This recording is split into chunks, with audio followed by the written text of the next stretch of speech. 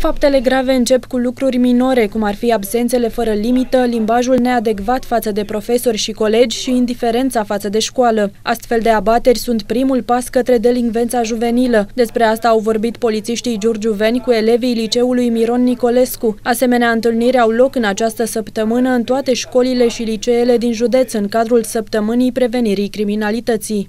În această săptămână, în România, are loc un eveniment destul de important, prevenirea criminalității, iar cum bine știți, în fiecare an uh, noi uh, ne pregătim pentru a preîntâmpina uh, diferite momente neplăcute din, din viața unor tineri și este vorba de delivența juvenilă.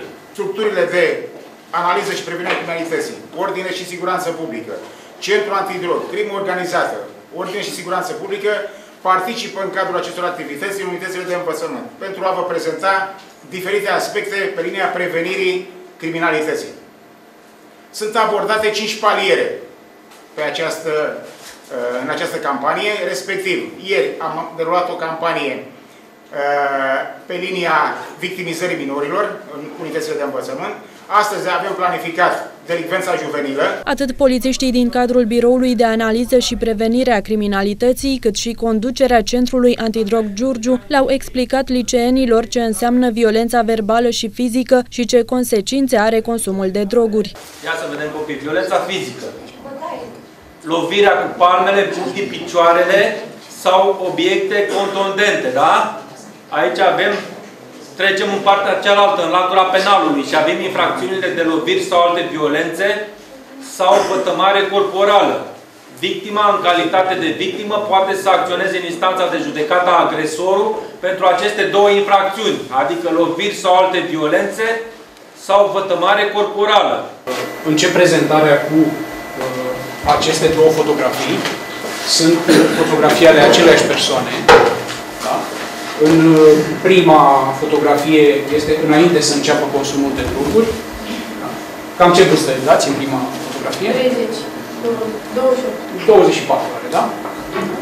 Iar uh, cea de-a doua fotografie este, așa cum scrie și acolo, peste uh, 3 ani și 5 luni mai târziu. De ce am început cu aceste două fotografii? Ca să vă dați seama la ce pericole vă expuneți consumând uh, droguri. Adolescenții au primit pliante informative privind delicvența juvenilă și au purtat discuții interactive cu polițiștii. De ce înțelegi prin delicvența juvenilă? A face ceva în mod obișnuit. Altcineva. Sunt două cuvinte. Delicvență. Infracționalitate. Juvenil cumva înseamnă bătrân? Dar franceză, da, dar ce înseamnă juvenil? Tânăr.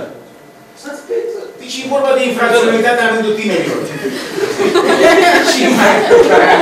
Infracțiunile comise de către minori cu vârsta cuprinsă între 14 și 18 ani. În același timp, polițiștii au atras atenția asupra pericolelor la care se expun, folosind smartphone-urile și rețelele de socializare. Totodată, oamenii legii au ținut să-i avertizeze pe chiulangii că vor intensifica raziile pentru a reduce fenomenul absenteismului.